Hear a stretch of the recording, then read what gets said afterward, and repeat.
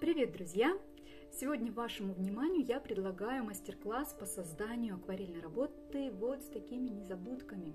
Казалось на первый взгляд сложными цветами для изображения, потому что их очень много в букете, очень много в соцветии, они маленькие. И казалось бы, работу с такими цветами можно рисовать бесконечно. Когда я рисую карандашный рисунок, я это вижу контурами. Я смотрю на объект и вижу его контур, форму и контур.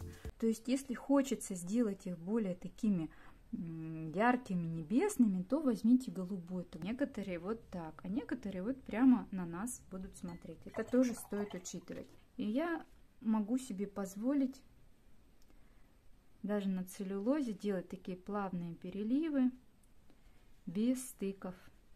У цветочка есть светлая серединка, но она объемная, она выпирающая, и поэтому вокруг этого светлого ободка есть затемнение.